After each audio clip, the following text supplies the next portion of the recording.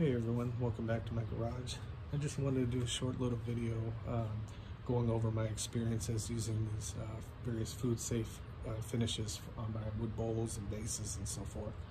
Um, I'm no expert by any means. Um, this is just detailing my experiences. Um, it's not a how-to video. There's much better videos on YouTube for that kind of stuff and I'm not a sponsor. This is just detailing my experiences with these products and what I've come across in using them. Uh, unfortunately, I give well, for, I give most of my bowls and, and stuff away, um, so I don't have many um, samples to show with this video. But here's what I got, and just to go over some things. First off, um, even though it's not a how-to video, like I said, I'm going to start with sanding because I, I was learning as I went. Um, you'll find some cheap stuff on Amazon. Don't get it. The grit's not consistent. You'll just get scratches and you'll battle yourself um, all the way through the project. You have to put the time into sanding. Whatever grit you sand up to, whether it's 320, 400, 600, whatever, just don't skip any grits.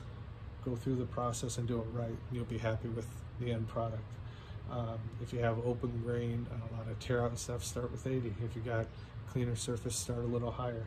Just don't skip grits and don't be cheap on the sandpaper.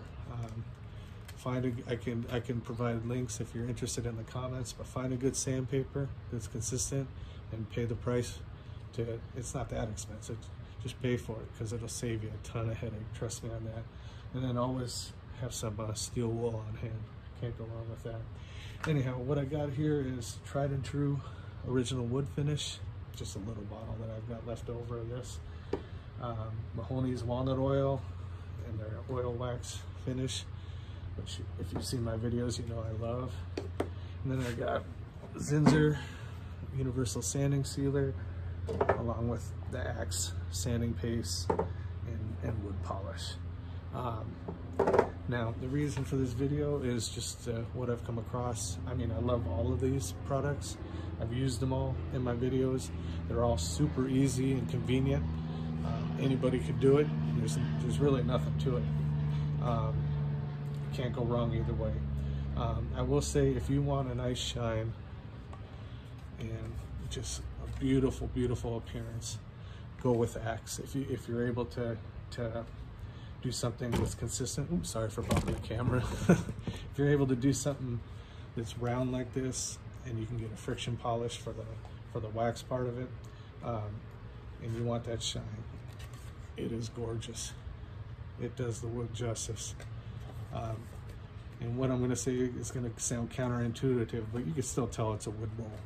It feels like wood even though it's got the wax surface. Um, that said if there are things and I've been I've been selling Ack's a lot um, using it a lot because I've just been very impressed with it but also, if you've been watching my videos, you know that Mahoney's is my favorite, and it still is, and it's two reasons.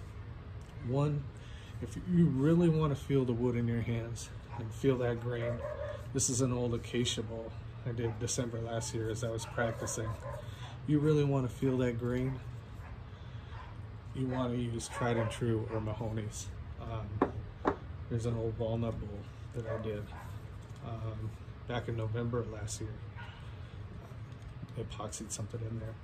But all these all these months later, it's just absolutely beautiful, and you can feel the grain.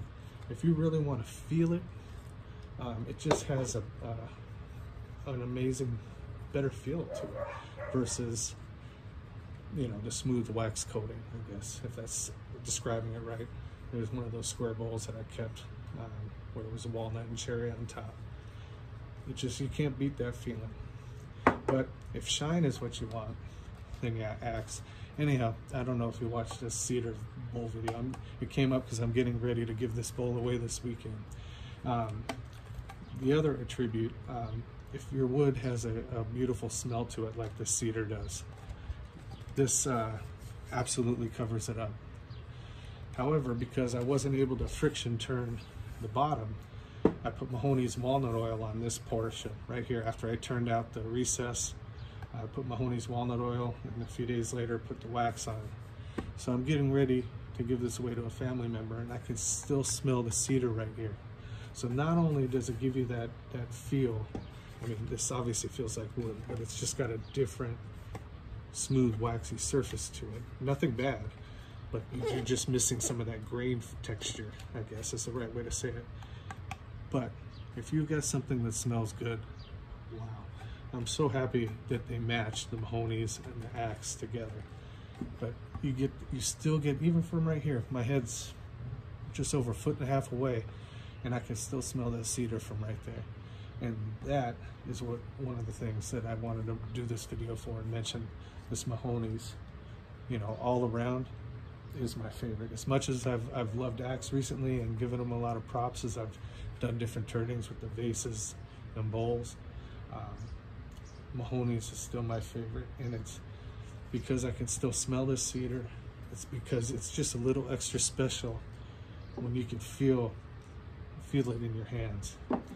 Anyhow, if you have any questions or comments, um, I'm happy to give links to where I got the sand, the scallop sandpaper. Um, give, give my further thoughts on any of these finishes or what, so whatever. I just wanted to just quickly detail my ex brief experiences with all three.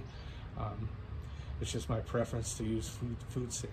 Um, I will say in terms, I've done two, a natural edge and one live edge. Uh, live edge walnut with the bark, natural edge, that Brazilian pine. Um, I used Mahoney's on both uh, and painted it on and it was perfect. You can use the, the sanding sealer and then uh, paint on a shellac to the bark of something, but painting on Mahoney's was just as great as, as an option as well in terms of the live edge and bark, leaving bark on something. Anyhow, I hope you found this short little video helpful or informative in some way. If you have any questions or comments, I look forward to hearing from you. Um, should be starting another bowl project very soon. Uh, anyhow, thanks again for watching. Hope you all have a great 4th of July weekend. Take care.